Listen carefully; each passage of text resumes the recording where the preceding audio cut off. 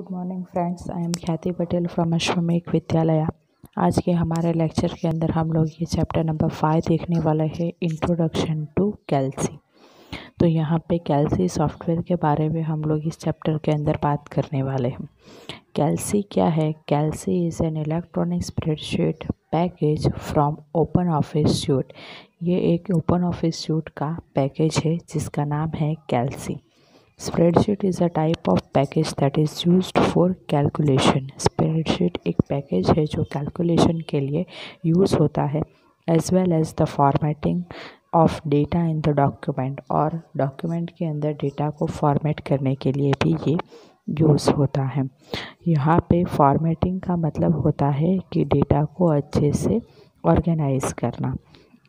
Spreadsheet program can store manipulate and create graphical representation of data spreadsheet program के अंदर आप लोग उसे स्टोर भी कर सकते हो मैनिपुलेट भी कर सकते हो और डेटा का ग्राफिकल रिप्रेजेंटेशन भी दे सकते हो।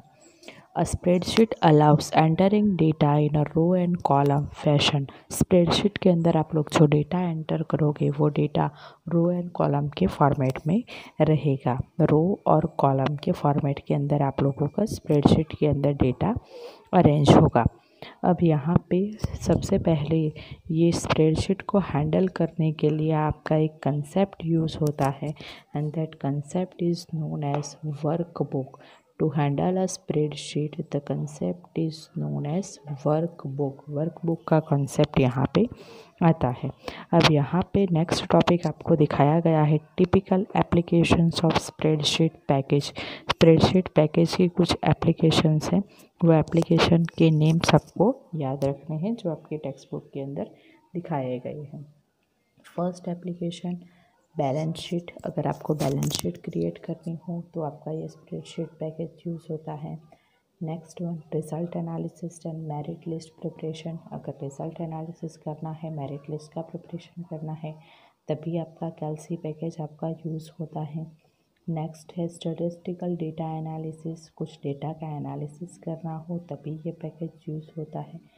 फाइनेंशियल एक्टिविटीज़ कुछ फाइनेंशियल एक्टिविटीज़ जैसे कि आपके लोन के बारे में, कुछ इंटरेस्ट कैलकुलेशन के बारे में, ऐसे कुछ भी फाइनेंशियल एक्टिविटी के लिए भी आप लोग इसका यूज़ कर सकते हो. And the last one is personal activity आप लोग किसी भी टाइप के पर्सनल एक्टिविटी के लिए भी इस पैकेज का यूज़ कर सकते हो. तो ये कुछ इसकी स्प्रेडशीट पैकेज की एप्लीकेशंस थी. अब आपको ये स्प्रेडशीट पैकेज के साथ वर्क करना है तो इसे आपको स्टार्ट कैसे करना है? तो सबसे पहले आपको एप्लीकेशन मेनू के अंदर क्लिक करना है। ओपेंटो के अंदर जो आपको मेनू मिलता है एप्लीकेशन उसके ऊपर क्लिक करना है। वहाँ पे आपको ऑप्शन मिलेगा ऑफ़िस और वहाँ से आपको ऑप्शन सिलेक्ट करना है। Open office dot O R G spreadsheet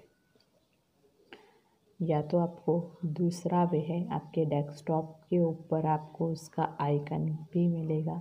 desktop के ऊपर ये स्प्रेडशीट का आइकन पे क्लिक करोगे तो भी आपकी ये स्प्रेडशीट की स्क्रीन खुल जाएगी, ये कैलसी सॉफ्टवेयर खुल जाएगा। ये स्टेप्स आपको आपकी बुक के अंदर दिखाए हैं। ये देखो, ये एप्लीकेशंस है ऑफ़िस है और ये open office dot O R G spreadsheet जैसे उसके ऊपर क्लिक करोगे तो ये जो स्क्रीन दिखाई गई है, ये स्क्रीन आपकी यहाँ पे डिस्प्ले होती है।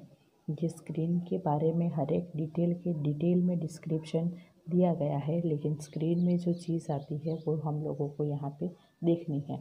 फ़र्स्ट यहाँ पे जो बार डिस्प्ले हो रहा है, ये वाला, वो आपका बार टाइटल बार है। टाइटल बार के नीचे जो बार है, वो मेनू बार है।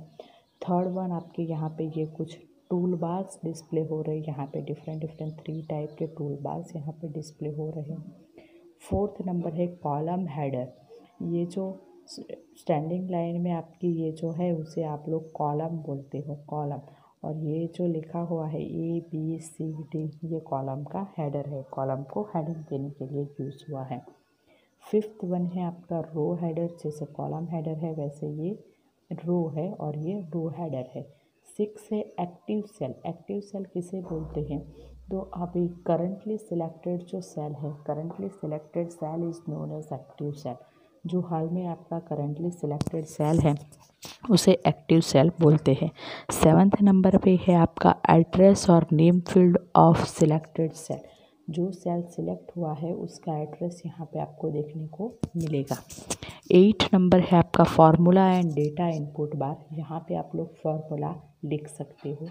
नाइन नंबर है आपका वर्क स्पेस वर्क स्पेस मतलब यहाँ पे आपको, यहाँ पे आपको काम करने का जो स्पेस मिलता है उसे वर्क स्पेस बोलते हैं। टेन नंबर है आपका जूम टूल जूम टूल इससे आप लोग वर्कशीट को बड़ी करके या तो छोटे करके देख सकते हो।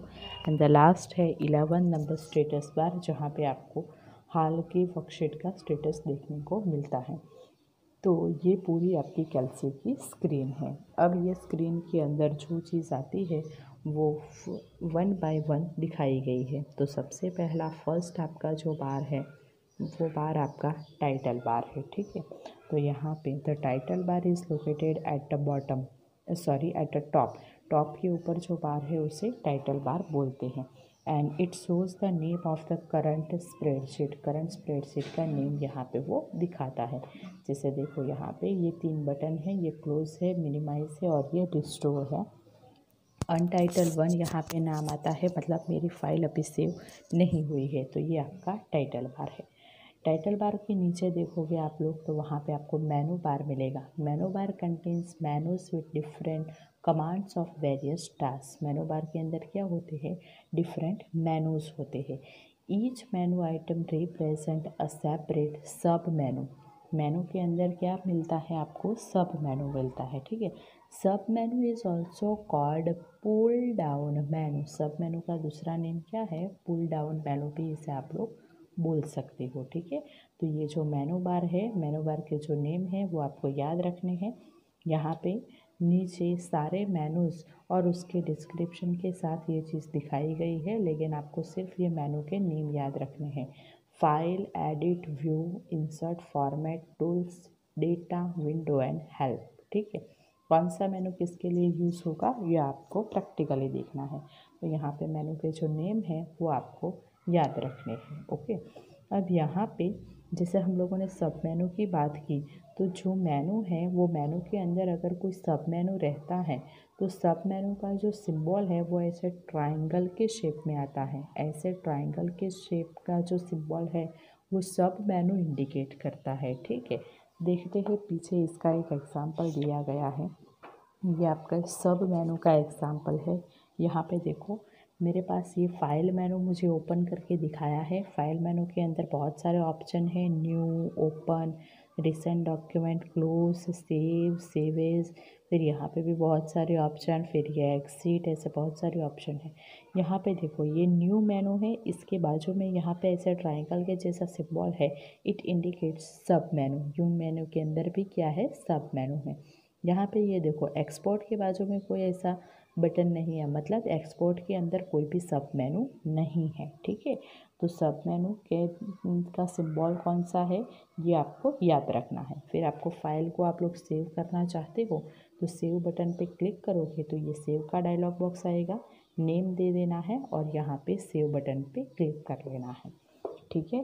तो हम लोगों ने ये क्या देखा? मेनू बार देखा। मेनू बार के अंदर आपको क्या याद रखना है? सारे मेनू का नेम याद रखना है और मेनू बार के अंदर जो आपका सब मेनू है वो सब मेनू ऐसे ट्रायंगल के सिंबल से ये दिखाया जाता है, ठीक है? तो ये था आपका मेनू बार मेनू बार के नीचे आपको मिलते हैं डिफरेंट डिफरेंट टूल बार्स अब ये टूल बार्स के अंदर आपके पास तीन टाइप के टूल बार है, ठीक है? सबसे पहला जो टूल बार दिखाया गया है, वो टूल बार आपका स्टैंडर्ड टूल बार है। कौन सा है? स्टैंडर्ड टूल बार उसके नीचे जो टूल बार है, वो है आपका फॉर्मेटिंग टूल बार और सबसे नीचे जो टूल बार है, वो है आपका formula tool bar formula bar भी बता सकते हैं। ठीक है? तो अब देखते हैं ये तीनों टूल बार के अंदर। तो ये जो स्टैंडर्ड टूल बार है, ये आपको यहाँ पे पीछे दिखाया, नीचे दिखाया गया है। ये आपका स्टैंडर्ड टूल बार है। इसके ऊपर standard tool bar contains most frequently use standard commands from the file and edit menu जो फ़ाइल मेनू और एडिट मेनू के मोस्ट रिसेंटली यूज्ड कमांड्स हैं, वो सारे आपको यहाँ पे ये स्टैंडर्ड टूल बार के अंदर दिखेंगे। आप लोग इसका यूज़ कर सकते हो। Next formatting tool bar the formatting tool bar represent the most frequently used command for formatting content of the cell cell को फॉर्मेटिंग करने के लिए आपका ये फॉर्मेटिंग टूल बार यूज़ होता है।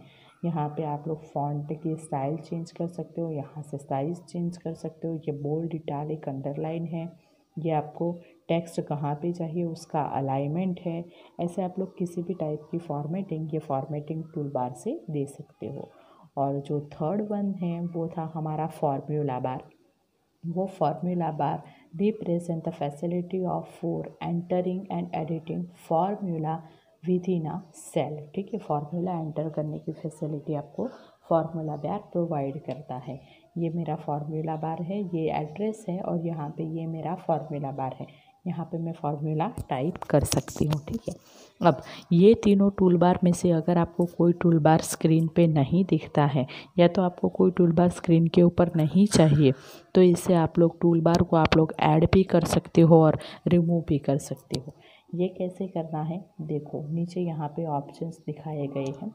ये व्यू मेनू है आपका। व्यू मेनू के अंदर आपका ऑप्शन है टूल बार्स ये टूल बार के ऊपर, ये टूल बार के अंदर यहाँ पे सब मेनू है।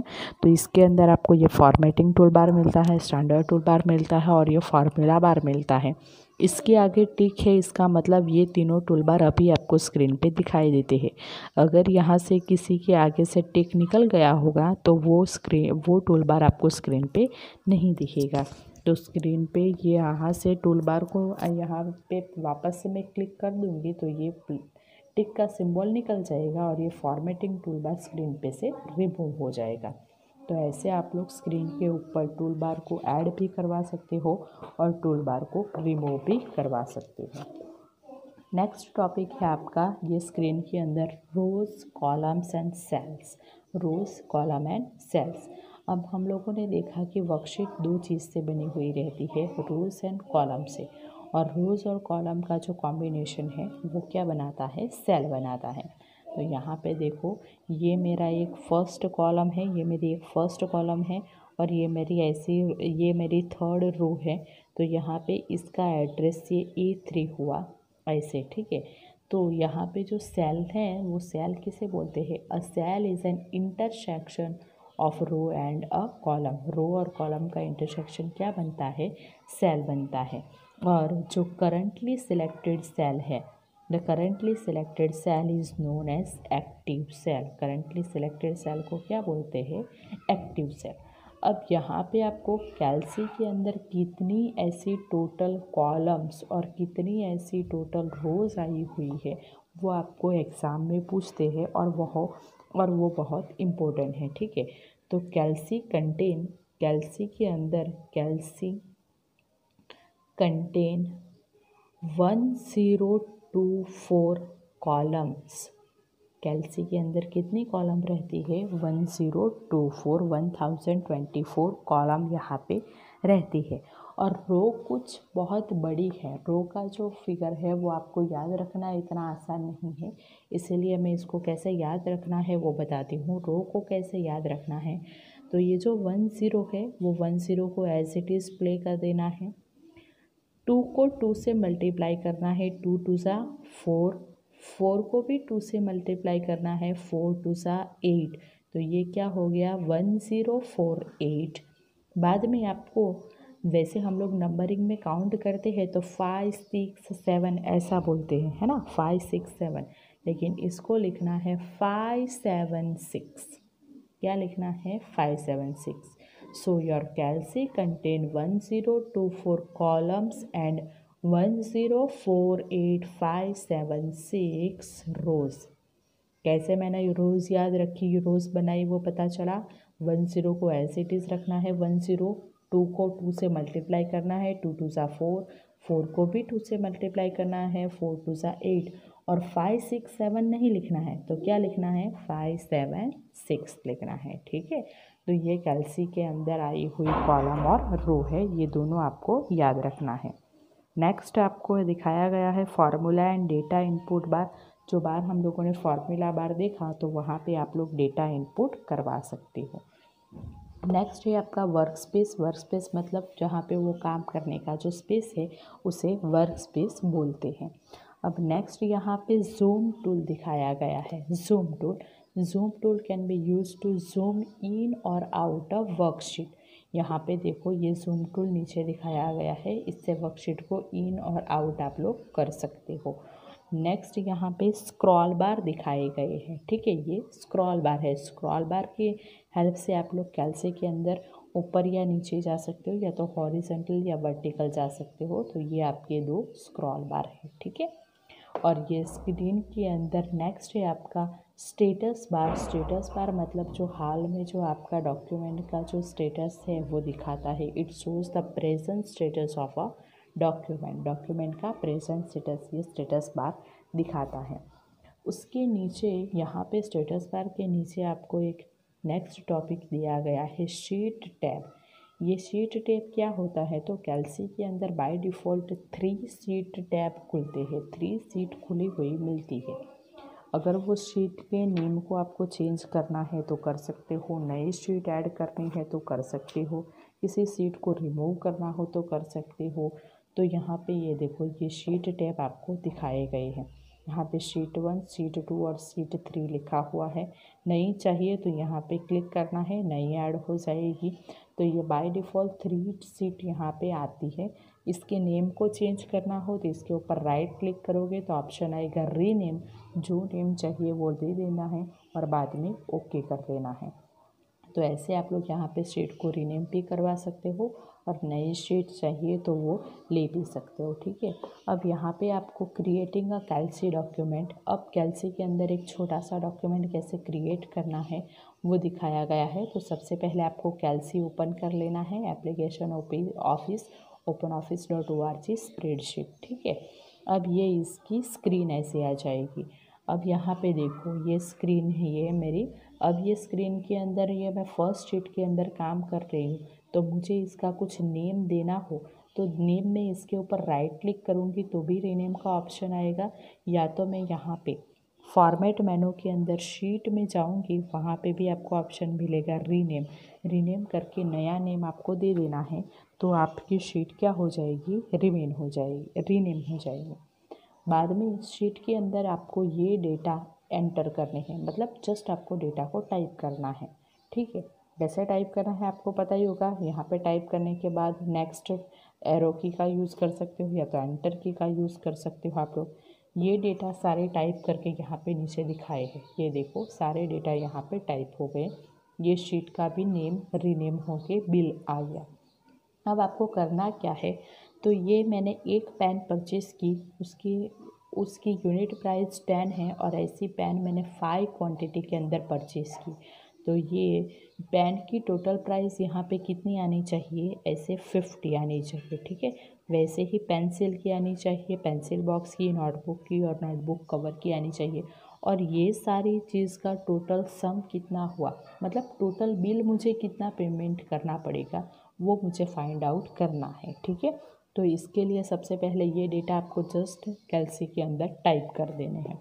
अब बाद में आपको क्या करना है? तो पैन की यूनिट प्राइस कितनी है वो आपको कैलकुलेट करनी है है ना? तो सबसे पहले आपको कैलसी के डॉक्यूमेंट को सेव कर लेना है। सबसे पहले कैलसी के डॉक्यूमेंट को आपको सेव कर लेना है, ठीक है?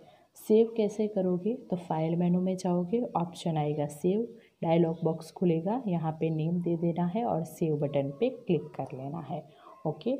जैसे हम लोग सब सब सॉफ्टवेयर के साथ उसका एक्सटेंशन याद रखते हैं, वैसे यहाँ पे कैलसी फ़ाइल का भी एक्सटेंशन है। कैलसी फ़ाइल का जो एक्सटेंशन आपके फ़ाइल के पीछे लगता है, वो आपको याद रखना है, उसका extension dot O D S है। क्या है? Dot O D S Calc use extension dot O D S ठीक है? अब आपको क्या करना है? तो अब आपको इसका पेन का टोटल प्राइस कितना हुआ वो कैलकुलेट करना है। तो यहाँ पे ये नेक्स्ट कॉलम के अंदर आपको ये दोनों चीज़ को मल्टीप्लाई करना पड़ेगा। तो मल्टीप्लाई करने के लिए आपका नॉर्मल ये मल्टीप्लिकेशन का जो सिम्बॉल है वो यूज़ होता है।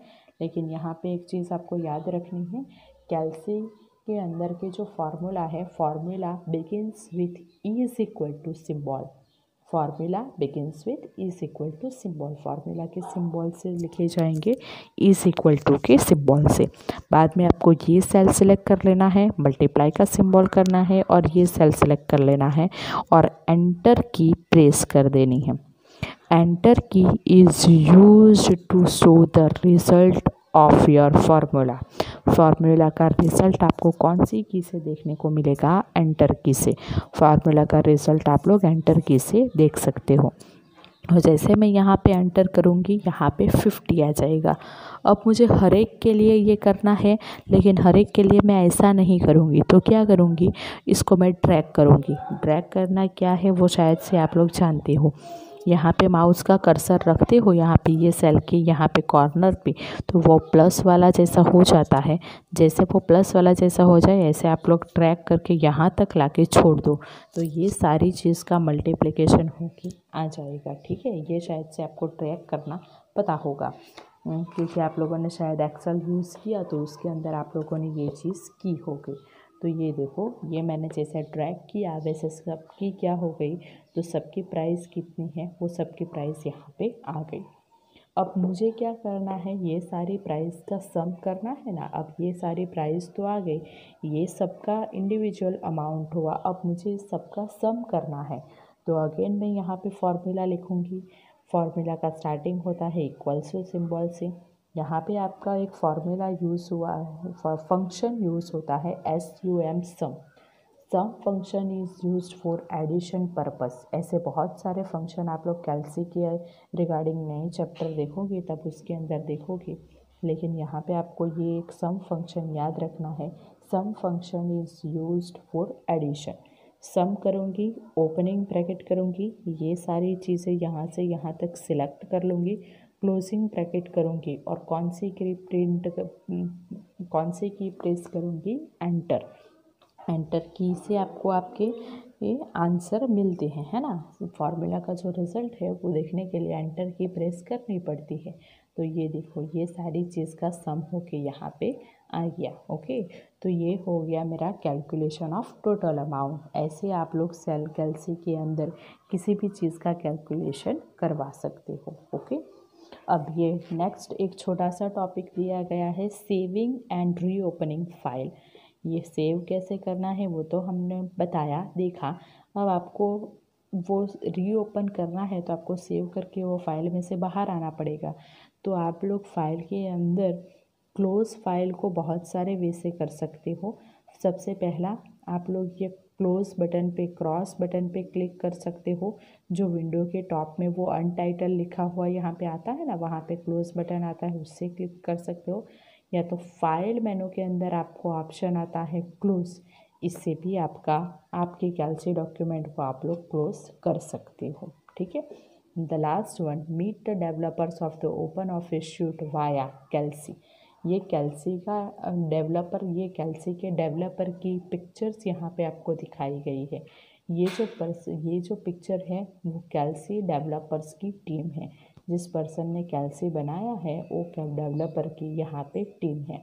ये टीम, अगर आप लोग कैल्सी के कोई भी स्टार, कोई भी सेल के अंदर आप लोग is equal to star Calc team type करके एंटर करोगे it display the picture of Calc development team member ठीक है, ये सारे कैल्सी के डेवलपमेंट के टीम मेंबर है, जो आप लोग किसी भी सेल के अंदर is equal to star Calc team और ओपनिंग और क्लोजिंग ब्रैकेट लिख के एंटर की प्रेस करोगे तो ये कैल्सी डेवलपर की टीम की फ़ोटोग्राफ पिक्चर्स वहाँ पे डिस्प्ले होगी। तो ये इतना आपका छोटा सा था चैप्टर नंबर फाइव अब आपको ये वीडियो देख के, ये नोट्स देख के सारी चीज़ें आपकी नोटबुक के अंदर अच्छे से लिखनी है और पीछे जो बुक के अंदर एम दिए गए हैं, वो एमसीक्यू को भी सॉल्व करके आपकी नोटबुक के अंदर उसको कॉपी करना है, ठीक है? नेक्स्ट लेक्चर के अंदर हम लोग फिर से कैलसी सॉफ्टवेयर के बारे में ही नया टॉपिक पढ़ेंगे, जो टॉपिक है पूरा एडिटिंग और फॉर्मेटिंग के रिलेटेड वहाँ पे हम लोग कैसे एडिटिंग करते हैं, कैसे फॉर्मेटिंग करते हैं, उस चीज़ के बारे में पढ़ेंगे। Thank you